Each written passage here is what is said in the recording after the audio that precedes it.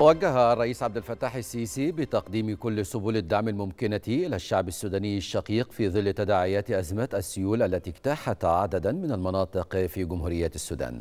وفي ضوء ما سبق قامت أجهزة الدولة المصرية بتسيير جسر بري يحتوي على مواد غذائية وأدوية ومساعدة إنسانية وطبية بإجمالي 90 شاحنة نقل للأشقاء في جمهورية السودان ضمن جسر بري متواصل مع جمهورية السودان الشقيق.